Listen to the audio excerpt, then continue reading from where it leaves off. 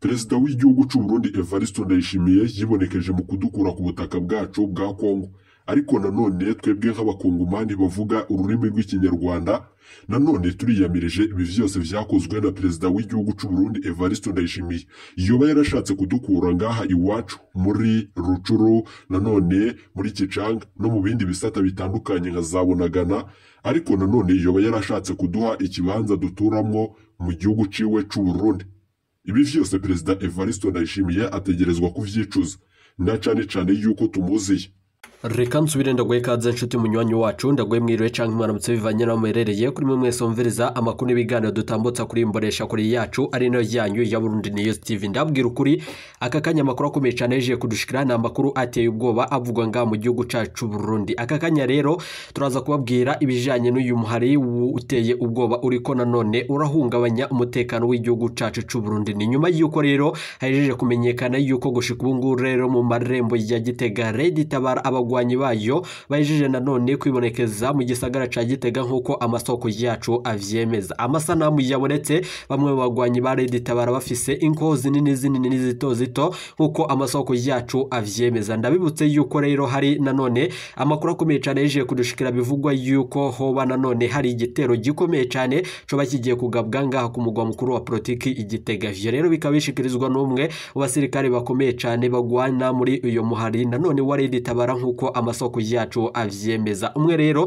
muri abo bagwanyi yemanze nanone avuga yuko igitero cabo kitabibanda nanone ku banyagihugu na cane cane ko bataba bashaka guhungabanya umutekano w'abanyagihugu. Ariko ikibabaje cane nuko amakuru akomeye cane yejeje kudushikira abashika mirongo ibiri n'indwi ari bo nyene bayejeje kwitaba imana mu gitero cagabwe ku ijoro ry'uwa gatanu uheze. Ni nyuma yuko rero turi buze kubigaruka ko muri aya makuru akomeye cane generale prime niyo yoba agira ashikirize iki nyuma yuko abagwanyi ba Red Tabara bahejije gufata ingingo ikomeye cyane yo kwishikira nga mu gihugu c'u Burundi nyuma yuko umukuru w'igihugu c'uwa General Major Evariste Ndayishimiye we wenyene yashimye kwigumira mu gace. Turi buze rero kubashikiriza ijambo rikomeye cyane umukuru w'igihugu c'uwa General Major Evariste Ndayishimiye nyuma yuko nanone yashikirije amajambo ku rubuga rwe rwa X rwahora ari Twitter. Turi buze rero kubashikiriza n'ijambo rikomeye cyane umugambwe CNDD-FDD washikirije ku banyagihugu vyose vyose. Tukabigaruka ko muri aya makuru akomeye cyane yejeje kudushikira.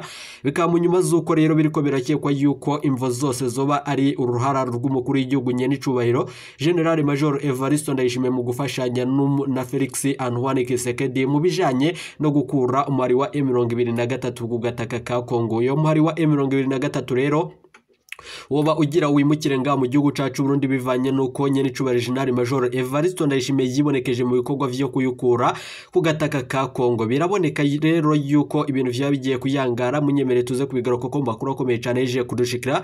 Reka nsubire ndaguhe ikaze nshuti munywanyi wacu kure wumviriza amakuru yacu herereye irya nino ku migabane y'amakungu ya kure. Abatwumviriza muherereye irya nino mu karere k'ibiyaga binini. Eka ndaguhe ikaze nshuti munywanyi wacu kure wumviriza amakuru yacu herereye nga mu gihugu cacu c'u Burundi. Mu makomine agiye atandukanye mu bisata bitandukanye vy'igihugu turabaye ikaze abaherereye nga ku mugwa mukuru wa politiki Gitega abaherereye irya nino mu gisagara c'ubudandaji Bujumbura. Namwe mwese muherereye mu makomine agiye atandukanye mu bisata bitandukanye vy'igihugu turabaye ikaze muri aya makuru adushikiye reka rero tubirenda gukengurukire cane nshuti munywanyi kuri waje gupyonda ijambo sabone. Kuba tarabikora aka niko karyo ndagusoma no kumusi video. Urabanditse ijambo sabone pyonde ko uracobona rakazojya nawe nyene pyonde ko hama tuje turabana mu makuru n'ibiganiro dutambutsa kuri Burundi News TV ndabibutse yuko aya ari amakuru avugwa mu bisata bitandukanye. Gisata ca politiki umutekano n'agateka zina muntu mukayatorezwa n'umugwi wamenyesha amakuru umuhinga akorera nga mu gihugu c'u Burundi n'abandi bakorera irya nino mu karere k'ibiyaga bini ingingo nkuru nkuru turazifatira ku makuru akomeye cane yejeje kudushikira nyuma yuko umukuru w'igihugu nyene c'uwa General Major Evariste Ndayishimiye yoba nanone afise uruhara rukomeye cane mu bijanye n'ibitero bigiye guterwa nga mu gihugu cacu Burundi bivanye nuko yemanze nanone kandi mwaromwumvirije yuko nyene c'uwa General Major Evariste Ndayishimiye yafise uruhara rukomeye cane mu bijanye no kugwanya umari wa M23. None yoba agira umari wa M23 wimukire nga mu gihugu c'u Burundi mu nyuma zuko yarungitse abasirikare bawukura ku gataka ka Kongo amakuru akomeye cane yeje kudushikira rero ni nyuma yuko gushika ubu ngubu abagwanyi ba Red Tabara bajeje gushika ngaha mu marembo ya Gitega nk'uko amasoko yacu avyemeza. Muze kunyemerera vyose tubigaruke ko muri aya makuru akomeye cane dutanga umuco ku vyerekeranye n'ijambo rikomeye cyane ubwoba n'igishikani vyose mu gisirikare c'u Burundi bivanye nuko Red Tabara irafise inguvu zitomenya iyo ziriko ziraturuka. N'amakuru rero mu buryo bw'idonido mbere yuko rero tubashitsa ko ayo makuru reka tubanze dutangure nanone kuri aya avuga kuri aba bagwanyi. Mu nyuma turaza kubashikiriza ijambo rikomeye cyane nyuma y'inyandiko y'umukuru w'igihugu nyene icubahiro General Major Evaristo Ndayishimiye yashikiriza ubwo ivyo vyose vyabaga. Turi buze rero kubashikiriza n'ijambo rikomeye cyane. Umugambi uri ku butegetsi wa CNDD-FDD washikirije wiyamiriza iterabwoba. Umukuru w'igihugu nyene icubahiro General Major Evaristo Ndayishimiye ubwoba n'igishika nyuma yuko urongoye uyo mu- uyo muhari nanone ashikiriza yuko umwanya ku mwanya araba none yicaranye n'umukuru w'igihugu nyene icubahiro General Major Evaristo Ndayishimiye. Bica vyumvikana rero ko ryoba ari iterabwoba ariko nanone dufatiye ku makuru akomeye cyane ava muri Repubulika iharanira intwaro rusange ya Kongo mu bugwanyi ba M23 bashikiriza yuko leta y'u Burundi iriko nanone irabakorera amakosha menshi ateye ubwoba bica vyumvikana rero yuko umwanya ku mwanya leta y'u Burundi yoba igiye guhura n'ibibazo bikomeye cyane nyuma yuko rero Red Tabara yoba yaraje kuronka intererano ziteye ubwoba ku bungu rero ikaba yihejeje kandi ikaba yejeje kuronka nanone ibigwanisho biteye ubwoba bizoyifasha mu gukura ko ubutegetsi bwa nyene icubahiro General Major Evaristo Ndayishimiye n'intwaro ya CNDD-FDD ivyo rero bikaba bishikirizwa na bamwe bamwe muri abo bagwanyi. Munyemerere rero tubanze dutangure kuri aya makuru akomeye cyane mwanyegejwe bivanye n'uko gushika ubu ngubu rero bujumbura muri bubanza nyuma y'uko rero humvikanye urwamo rw'ibigwanisho. Leta y'u Burundi yanyegeje amakuru y'ukuri ariko kuri ubu ngubu rero reka tugaruke kuri iki gitero gikomeye cyane mu nyuma turi buze kubasigurira ibijanye n'ivyiyumviro vy'uwo muhari nanone no gufashanya hamwe n'intererano ziriko ziratangwa. Zoba zituruka ngahe muze kunyemerera tubigaruke ko mu makuru akomeye cyane yejeje kudushikira ni nyuma y'uko rero harumvikanye urwamo rw'ibigwanisho biremereye na bito bito kuri uyu wa gatanu uheze ku mugoroba wa gatuma nanone no mu gihanga nyuma y'uko rero hari mu ntara za bujumbura na bubanza uburengero bw'u Burundi abategetsi b'u Burundi ntibavuze ivyononekaye. Ni nyuma y'uko rero inkuru ya Burundi News TV muri utwo duce tubiri ibigwanisho bisa n'ivyumvikaniye rimwe hafi isaha zibiri n'igice z'ijoro. Muri gatumba nanone agace kavugizo ke- kegeranye na Repubulika iharanira intwaro rusangi ya Kongo niko nanone humvikanyemwo amasase menshi atagira uko angana. Abanyagihugu rero bavuganye na Burundi News TV bamenyesha yuko hari abantu bapfuye naho nanone nk'uko leta y'u Burundi yo yonyene itariko irashima kuvuga ibitigiri vyabo. Ni nyuma y'uko rero mu ijwi rya Burundi News TV yasohoye kandi kuronka hari umuntu w'umugabo yariko aratabaza asaba abategetsi ngo bazane rusesabaniha nyuma y'uko rero rusesabaniha nanone yatevye nyuma y'uko yashitse abapfuye bahejeje kwitaba umuremyi. Abakomeretse rero bamwe bamwe bakaba baciye barungikwa nanone ku bitaro bitandukanye ngaha i Bujumbura mu gisagara c'ubudandaji nk'uko amasoko yacu avyemeza muri komine Gihanga nanone amakuru akomeye cyane yaje kudushikira nuko gatanu na gatandatu n'indwi harahereye nanone ishamba rya rukoko rihana urubibe na repubulika iharanira intwaro rusange ya kongo naho nyine harumvikanye amasase n'ibiturikani nyuma y'uko rero vyatumye abantu bagira nanone ubwoba bwinshi cyane. Abatowe nanone baserukira burundi news tv nanone ku bw'abamenyesha amakuru bacu bakorera ngaho bakavuga yuko rero abajejwe umutekano bariko barahiga abanzi. Ariko nanone gushika ubu amakuru akomeye cyane yaje kudushikira arateye ubwoba munyemerere tuyagaruke ko mu nyuma z'uko ibiriko biraba ngaha mu gihugu cacu Burundi biteye ubwoba. Nyuma y'uko rero leta ya Gitega yo nyene idashima kugira ico itangaza aho iriko iranyegeza amakuru ajanye nabo nyene bagizwe ko ingaruka n'ivyo bibazo vyose vyibonekeje mu gihugu cacu c'u Burundi. Amakuru akomeye cyane ahejeje kudushikira rero ni munyemerere tuyabandanirize kuri iki gitero gikomeye cyane nyuma y'uko rero igitero cyo mu gatumba leta yashize abona ibitigiri biteye ubwoba ku muhingamo kuri uyu wa gatandatu Jerome Niyonzima umuvugizi wa leta y'u Burundi yaratangaje inkuru mbi cyane y'abantu bashika mirongo ibiri bapfiriye ivugizo muri zone gatumba mu burengero bw'u Burundi. Hafi y'urubebe rwa RDC ubwicanyi bwabereye ku mugoroba wo kuri uyu wa gatanu uheze. Ni nyuma y'uko rero amakuru atangwa ariko nanone gushika ubu rero hari vyinshi mwanyegejwe na cane cane ko leta itashimye kugira nanone nanone ibitigiri vy'abanonekaye vy'abaguye muri ivyo bitero vy'imigambi y'ababisha. Ni nyuma y'uko rero muri iryo tangazo Jerome Niyonzima avuga yuko abantu bishwe bunyamaswa muri nanone muri bo harimwo icenda nanone bagizwe ko igitero umurwi witwaje ibigwanisho w'abarundi ucumbitse muri Sud Kivu Red Tabara nanone wemanze ico gitero. Ugakana ko ari wo nanone ko wateye utateye abasivili ariko wishe abasirikare icenda n'umupolisi. Abo banyagihugu rero boba barishwe nande niba umuhari wa M23 hakana yuko woba nyene warishe abanyagihugu kubw'igitero cawo nyuma yuko rero kubw'intahe zegeranijwe na Burundi News TV gushika ubu rero ico gitero cabaye hafi isaha zibiri n'igice z'ijoro cara nanone caranzwe n'inkoho ziguruka kandi zituragurika na cane cane ari navyo vyavyuye nyene abanyagihugu ababa rero muri ico gice nanone bababaye nanone basabwe ko ba abasirikare nanone bo gufasha mu gucungira akarere bakavuga yuko bababaje cane nuko batatabawe barenganye. Nyuma yuko rero umunyagihugu yakomerekejwe ku maguru abiri agaragaza umubabaro twibaze yuko rero ari abasirikare b'u Burundi kuko bari bambaye umwambaro w'igisirikare c'u Burundi. Harimwo igipfungu cishi cane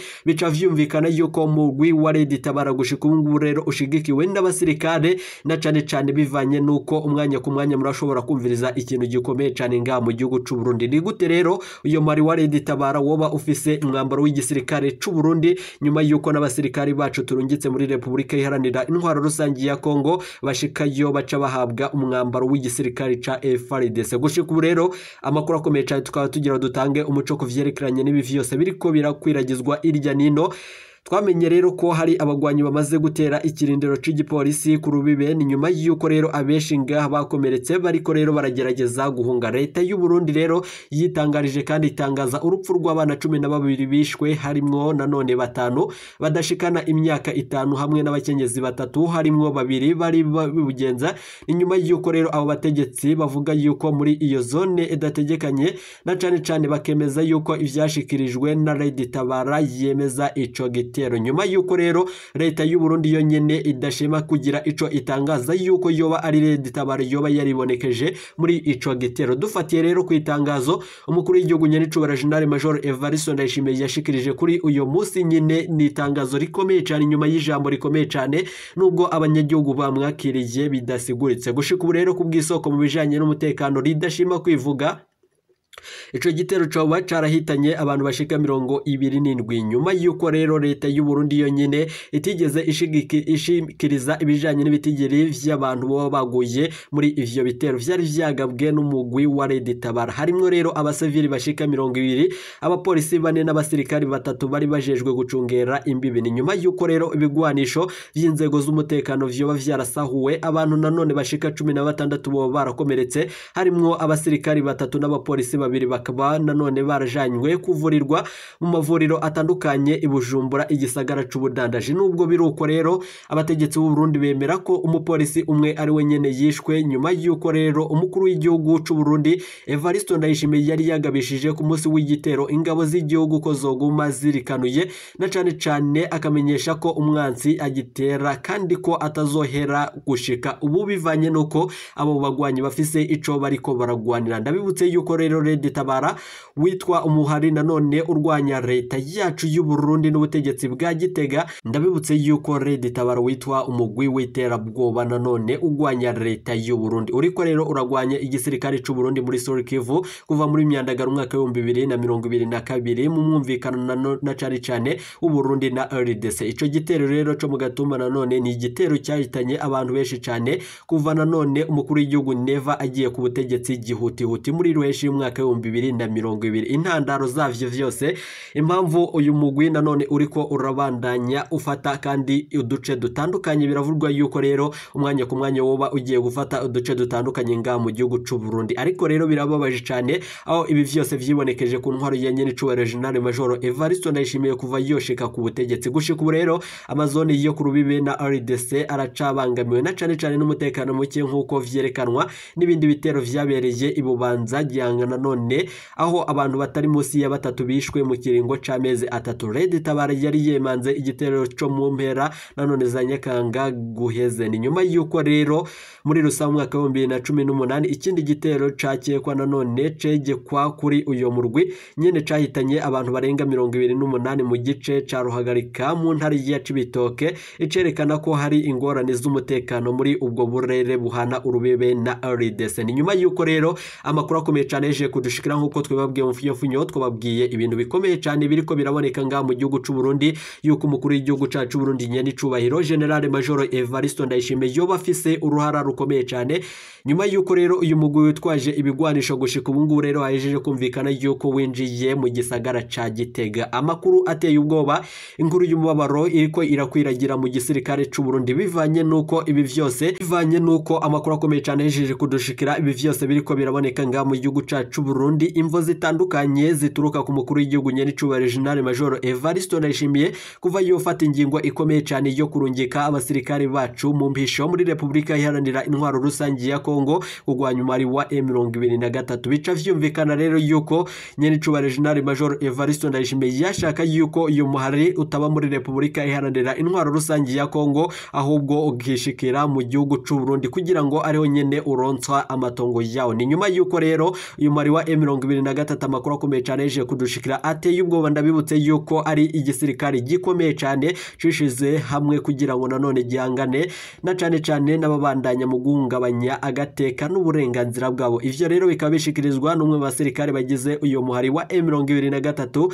nyuma yuko rero amenyesha yuko leta y'u Burundi igiye kwikwegera akararambara nyene icubahiro General Major Evariste Ndayishimiye gushika rero ubwoba n'igishikani vyose ni nyuma yuko rero abagwanyi nanone gushika ubu bafise impuzu zimwe zimwe z'igisoda c'u Burundi bamwe bamwe bafise n'impuzu z'igisoda ca RDC binjiye nanone bivugwa yuko rero bibonekeje mu marembo ya Gitega. Gushika ubu rero inkuru iteye ubwoba ariko haribazwa imvo niyo uyu muhari woba uriko urakura intererano bivanye nuko umwanya ku mwanya urafise inkoho zinini zinini n'izito zito nk'uko amasoko yacu avyemeza. Ndababwira ukuri abasirikari bo ngaha mu gihugu cacu Burundi barafise ubwoba n'igishika nubwo umutekano wacu turawizeye cane na cane cane nubwo intwaro ya CNDD-FDD gushika ubu ngubu itariko irabandanya nanone gushikiriza ibikenewe ku banyagihugu. Ndabibutse yuko rero nyene icubahiro General Major Evariste Ndayishimiye wenyene yama yibonekeza mu bikorwa bitandukanye na cane cane vyo kuvuga gusa ariko gushira mu ngiro bigapfaca vyanga. Ndabibutse yuko rero General Prime niyo ngabo wewe nyene abasirikari bashika mirongo ibiri n'umunani yoba yarabanyuruje abagereza yuko ari abatutsi banze kugwanya bene wabo muri Repubulika iharanira intwaro rusange ya Kongo birababaje cyane umwanya ku mwanya turashobora kumviriza ibintu bikomeye cyane. Biriko vyama vyibonekeza nga mu gihugu c'u Burundi nizere ko waje gupyonda ijambo sabone kuba tarabikora akaniko karyonda gusaba muri musi iyi video. Urabanditse ijambo sabone upyonde ko uracabona rakazugira nawe nyene upyonde ko turibuze kugaruka tubashikiriza ibihugu bitandukanye. Biriko biratanga intererano kuri uyu mugwi ugwanya leta y'igihugu cacu c'u Burundi. Ndabaye ikaze rero mu yandi makuru yacu aza nizere ko aho uherereye hose umerewe neza iteka umunezero ni byo tubipfuriza ntimuje kure ibiganiro vyacu nakagaruka. Iyi ni Burundi News TV